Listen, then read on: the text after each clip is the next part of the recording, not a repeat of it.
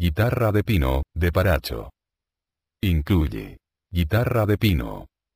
CD-ROM curso de aprendizaje. Nota envío a cargo del comprador.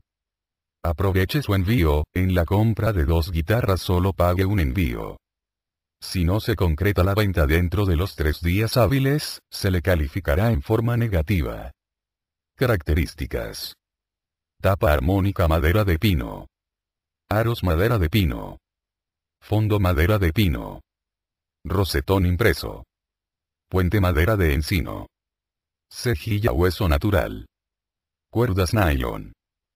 Trastes aluminio. Brazo madera de pino. Diapasón madera de encino.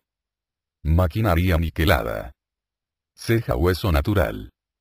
Medidas. A 37 centímetros. A 28 centímetros. E 8 centímetros. L 100 centímetros. M 45 centímetros. Si no se concreta la venta dentro de los tres días hábiles, se le calificará en forma negativa. Cualquier duda sobre el artículo, no duden en preguntar estamos para servirle. Preguntas frecuentes. ¿Qué se procede una vez que le doy en link comprar? Mercado Libre le manda un correo con nuestra información y también a nosotros. Posteriormente nosotros nos comunicamos con usted vía correo electrónico o por teléfono, para realizar los detalles de la compra. ¿Es lo mismo el link preguntar que el link comprar? No. En el link preguntar es para que realice cualquier pregunta acerca del artículo y el link comprar es solo si está 100% seguro de realizar la compra. ¿Cuáles son los días que envías artículos? De lunes a viernes, excepto días festivos. ¿En qué paquetería me envías mi producto? Manejamos esta feta, es más seguro y rápido. ¿Cómo sé que ya me enviaste mi producto?